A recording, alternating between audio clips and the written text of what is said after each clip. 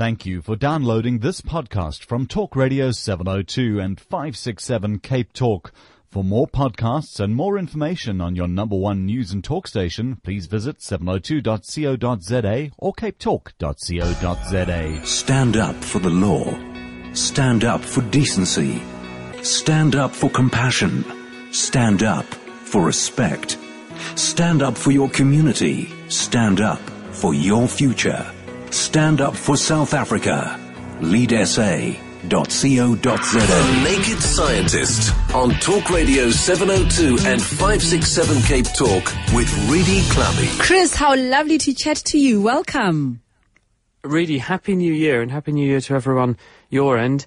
I hope you had a wonderful Christmas, and I understand it's Thomas's birthday as well. Happy birthday, Thomas. And there's no food in the studio, so it's not a happy birthday for him. Because he's already yet. eaten it all. Anyway, Chris, uh, lots of SMSs and emails that continued to come through throughout the festive season. And in fact, let's open our lines right now on 021 446 0567 011 883 0702. I've got an, uh, I'm taking your SMSs 31702 and 31567. Chris, I've got an email here from somebody who wants to know, has the controversy around uh, the risk of using a cell phone regularly been clarified. Uh, it's a long email, but this person, James, says uh, he notices that when he's been on the phone for a very, very long time and he gets off the phone, the screen is very, very hot. What does that mean? It makes him nervous.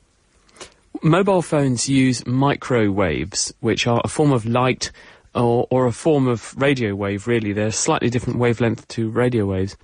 And they send those signals to communicate with a base station, which is part of a cellular network. And that base station on the cellular network then interfaces your communications with uh, phone lines and sends them around the world for you. So the phone is in a constant conversation, electrically speaking, with the base station, and the base station is continuously talking to the phone. So information is flowing in both directions. Now, when the phone is on standby, or it's just on receive mode, it's just listening. And the base hmm. station occasionally gets a message back from the phone to say where it is. But when you want to have a conversation, the phone has to maintain a constant output of information, which is your conversation being beamed back to the base station, and it's also receiving the incoming radiation from the base station. And to make sure that the signal is received well and faithfully by the base station, the phone not only puts out a signal continuously, but it also increases the power of that signal. Hmm. On days where the weather is wet, because microwaves are strongly absorbed by water, then you will find that the phone will up the power that it puts out because it's got to make sure that the base station can hear it, and that means that it will increase the, the intensity of the microwave radiation that goes out. And these factors all contribute to the phone consuming more energy from the battery. And some of the energy it consumes will be running the transmitter in the phone, other parts of the energy will go into the electrics inside the phone. So some of that heat that's produced is being produced by the fact that there's a screen, there's other bits of electronics inside the phone working, but a proportion of it will be the microwave transmitter running. Therefore, um, it will have a, a local heating effect against your face, but also the microwaves going through your head, because the microwaves will penetrate the bone of your head just as well as they will penetrate the brick wall of your house. This means that there will be a degree of microwave energy being beamed into your brain, and there will therefore be a, a heating effect inside the brain. Models that I've seen suggest mm-hmm. that this should contribute to a heating effect of maybe one degrees C inside the head at most, which shouldn't be pathological. The other thing that's put forward reassuringly by people who make mobile phones mm. is that the energy in a microwave or the radiation of a microwave is not sufficient to break the bonds between atoms in molecules, and therefore this is not dubbed ionizing radiation. Although microwaves make molecules, especially molecules of water, shake around, which is why they have a heating effect, they are insufficiently energetic to pull apart the molecules, so they don't actually break bonds, and therefore they can't damage your DNA, and therefore there should be a low risk of cancer. That said, we've only been really exposed to microwave use on the scale that we have with mobile phones for a relatively short time. Mm. And what people are now doing are setting up huge studies around the world where they are gathering data from mobile phone users, with their permission, of course, and they are correlating the intensity of that person's phone use with their health outcomes. And this is an ongoing study which has only launched in the last few years all around the world to see if we can tie together any pattern between people's phone use and the regularity and exposure to phone use Yes. and what it does to their health. On a sort of slightly more remote scale, what other people have done is to look at the overall cancer statistics. This is obviously making the assumption that maybe mobile phones will do something to your cancer risk. And they've looked at the number of people getting cancers in the years leading up to the introduction of mobile phones. And they've now been looking at the rates of cancers in the years after the introduction of mobile phones to see if there's any change. So far, there is not convincing, compelling evidence to show that there is an association. But again, it's early days, and if you look at smoking, which we all accept is a very established risk for getting lung cancer, mm. it actually takes you a lifetime of smoking to get lung cancer. So we might just be looking too soon to see an effect oh. with mobile phone use. So the jury is out, and I think most people say if you can avoid it, use your mobile phone only when it's necessary. Um, I don't think there's any good compelling evidence that using hands-free devices like on a wire make a difference to your radiation exposure, but a Bluetooth device might, although that still is using a kind of radio wave to communicate between the phone and the handset. But minimise your use, and in young people, try not to use a phone if possible because the skull bones of a young person are thinner than an adult, and therefore the penetration of the radiation into the brain is going to be greater. And there may also be other behavioural effects of being exposed to radiation into your brain from a microwave source that we don't know about yet. So again, the jury is out, so it's better to just use your mobile phone only as much as you need to rather than uh, live on it. Okay. Let's go to Jennifer. Jennifer in Fourways. Hi. Hi, good morning to both of you. I've got a question. A, a, a- year ago, I had a lump- lumpectomy to remove a small lump in my breast, and everything's fine, okay? I then had to have radiation treatment afterwards for about a month. And it's almost like getting sunburnt, and it can be quite uncomfortable. I was given cortisone cream, but I was also told to use corn flour, or we call it maizena, to you sort of put it on your breast, and it actually soothes that burning feeling. I want to know why. Yes, I had a friend who had a lymphoma, Jennifer, and Happy New Year, by the way, and I'm glad everything's been sorted out for you. And he also had radiotherapy, and he was using things like talcum powder and corn flour on his skin. Um, I don't know the physiological reason why that works, but he said it gave him quite a lot of relief as well. Uh, I can only think that maybe it stops the skin getting damp from the sweat that gets produced locally, and that this may prevent the skin sticking together or uh, may actually help to stop the sweat irritating the skin and keep the bugs from growing. Um, because you are more at risk of getting a bacterial infection in skin that may have been damaged by the radiation from the radiotherapy. But what I'll do is I'll take a look into that because um, I'd forgotten all about his treatment and why he did that. So I'll take a look into it. It's reminded me to, to find out why that is. All right. Thank you very much, Jennifer. And uh, Fanny, you are calling us from Guguletu in Cape Town. Hi, Fanny. Hi, morning. Can you speak up, please, Fanny, uh, and ask your question? Yeah. Morning and compliments of the season to you and Chris. Thank you. Uh, I want to know is, can you tell me why do a dog when he when he goes to sleep make a turnaround and he use the same same pattern when he go and poo? That is what I want to know. Okay, I didn't understand the question, but Chris, No, uh, maybe. when a dog when a dog go down to sleep, he first make a turnaround, Okay. and if he go and poo, he does the same circle. But why does he do that? Oh, okay.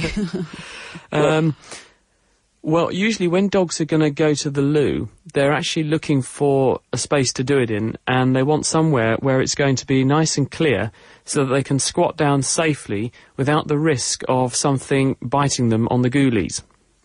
Putting it in delicately.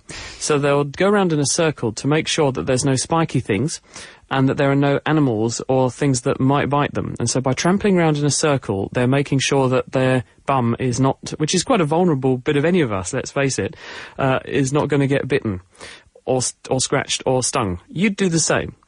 When they go to bed, they turn around in circles in their bedding because it's a, a good way of doing exactly the same thing. In the same way they would trample the undergrowth down when they're about to go to the loo, uh, they can trample their bedding down to push it into a nice, plush, soft, receptive area for them to curl up in. And I reckon that's the reason. All right. Thank you very much, Fanny. What an interesting observation. Let's That's a go good, to. that's a good question. I like that one. Yeah, I haven't even observed. I haven't observed that in dogs myself. But geez, Fanny, thank you very much. Interesting. Uh, Frank in Paulshof. Hi. Oh, hi, morning to you. Mm, morning.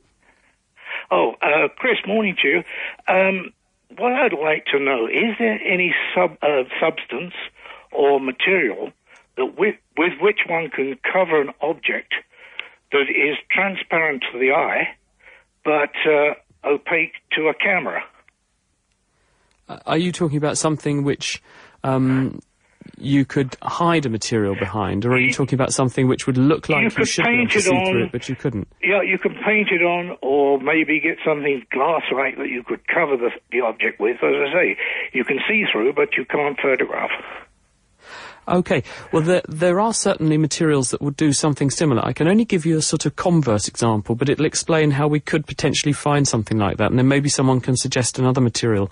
Um, we were doing quite an interesting experiment. When we came to South Africa for the SciFest in 2009, we brought with us a webcam that we had modified. And if you take a normal webcam you have on your computer and you look inside it, you'll see that where the lens is that lets the light in, behind that is a special filter. And that filter screens out infrared. And the reason for that is that the chip in the camera, which converts the light waves into electrical signals that go to the computer, is sensitive not just to visible light that we can see, but also to infrared, heat. Uh, energy that we can't. So they put a filter in the front of the camera so that when the light with the infrared in it comes through, the infrared gets screened out by the filter and only the visible light goes onto the chip. Otherwise it distorts the image. But if you take out that filter, then you have a camera which can see in the infrared, and if you put some polarizing lenses to screen out instead the visible light on the front of the camera, you can make a camera that sees just in the infrared. And we were playing with this thing, thinking it was all very funny, mm-hmm. until Dave, who works with us, picked up a, a bottle of Coca-Cola and shone the webcam at the bottle of Coca-Cola, which to us, using visible light, looks like a black liquid, doesn't it? And to infrared, it's completely transparent. And we were really gobsmacked to see that you've got this liquid which looks completely clear and colourless in the infrared. So infrared energy just goes straight through. And then we started looking at the plastic cases of a number of devices like your household shaver or the toothbrush packet and that kind of thing. And we found again that although they look opaque and they look like there is uh, a solid layer there to the visible light regime, in the infrared they are completely transparent. So materials that have the characteristics you describe do exist, um, but I don't know of any which you could see through with visible light, but which a camera wouldn't see through, because the camera, of course, is looking at visible light as well as you're looking at visible light to take the picture, unless you had a camera that was taking a picture in, say, infrared, um, and you were looking, obviously, in the visible light regime. But such such substances do exist that can discriminate between different wavelengths of light like that. Thank you very much, Frank. Now, Chris, I have an answer for Fanny. Someone has sent us an SMS to say, Chris, the dog turns twice because one good turn deserves another. Brilliant. Norman, Uh, yes. round of applause for that one. It's stunning. It's from uh, a listener called Brian in Pretoria. Norman in Willow Park. Hi. Was it one Yeah. good turn or one good turd, did he say? Turn. Yeah. Uh, morning, Chris. Uh, uh, Hello, Brian. I think I think I must be stupid, but one of the things that's always puzzled me is w- the planets all orbit the sun, uh, I believe, and why does the sun stay in the same position? Why doesn't the sun in the universe move around like planets? Uh, Hi, the, Brian. su- the sun's a star. Okay. Okay. We got Okay. Well, uh, the sun, relative to us, does appear to be staying still. You're absolutely right. And the Earth and all of the other clutch of planets in our solar system orbit around the sun. But if you look at the sun and our position relative to other fixed objects, what we call fixed objects, in the universe, you see that they are changing. And in fact, what we now know is that the sun, rather like the Earth is on a giant journey around the sun, the sun is on a giant journey around our galaxy. And unlike the Earth taking one year to go around the sun, the sun takes hundreds of millions of years to make its orbit around the centre of our galaxy. So you were right to question this because, in fact, stars are all in their own orbits, in their own galaxies, and so they are moving. And you can see this by comparing their position relative to other objects in the background, which change. Thank you very much, Norman. Celia in Kenilworth. Hi, good morning to both of you. Mm. Welcome to 2012. I use a toothpaste which is white and it has a blue and a red stripe in it. And no matter how much I demolish the tube, the stripes still come out not mixed with the white. How do they get the stripes in the toothpaste? I know it's it's amazing, isn't it, Celia? Because mm. I've done the same thing. Tubes of toothpaste that go in my luggage that get a really good kicking at the hands of the airlines and booted around the the, the, the strip and all that kind of thing. And you you find uh, your toothpaste tube is on the verge of rupturing in your luggage, and when you squeeze the toothpaste out, it's still got a red stripe, a blue stripe, and a white stripe, or whatever it is.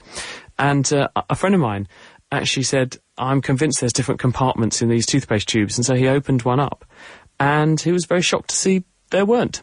There's just tubes of, there's, well, there's just strips inside the tube of different coloured toothpaste. And I think the reason is that when you squeeze the tube, and someone who has a, a qualification in fluid dynamics can correct me if I'm wrong or, or help me out here. I think the reason is that when you squeeze the tube, there's no net force being applied just onto the coloured bits mm-hmm. in one direction.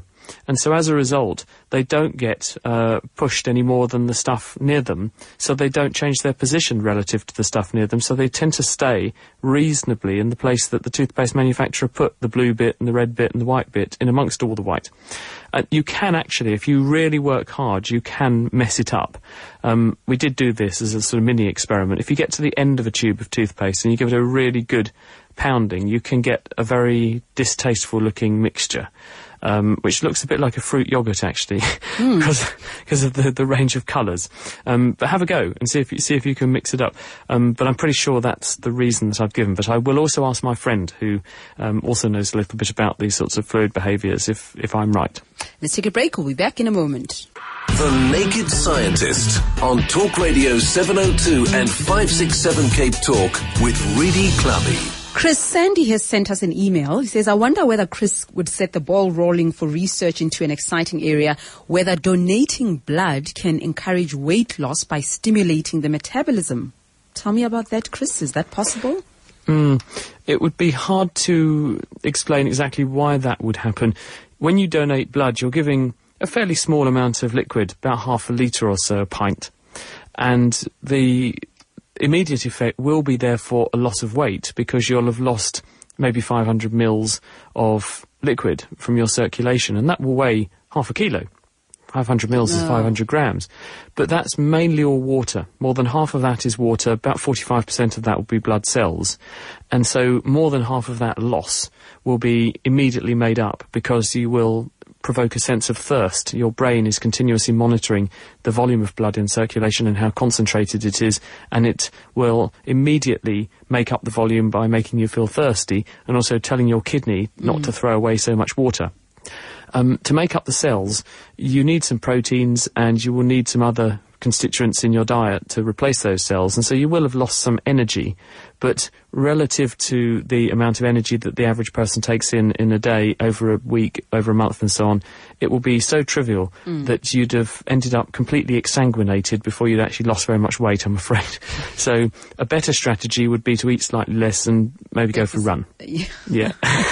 It seems like quite an extraordinary length to go to, to to go into the blood donor clinic in order to slim down. That said, giving blood is very important because it saves lives, and um, people absolutely should do that, especially if they're like me and they have Group O negative blood, Mm. because you're the universal donor and you can give it to anybody. Yeah. Uh, Sandy, I'm afraid the same, same story. No easy way out. Jim and It's an interesting ETS. question. There. Who's what to cut corners here? Peter in Fish Hoek High.